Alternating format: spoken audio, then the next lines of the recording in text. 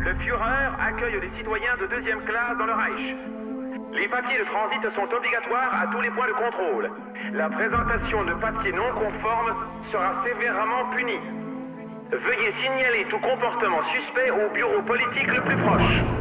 Il n'y a pas de mots pour décrire le mal qu'a fait cette guerre. On n'aura plus aucune chance de sortir. L'esprit est aussi une des victimes de la guerre. On peut plus revenir en arrière. Qu'il trouve la paix dans l'au-delà. À toi, frangin.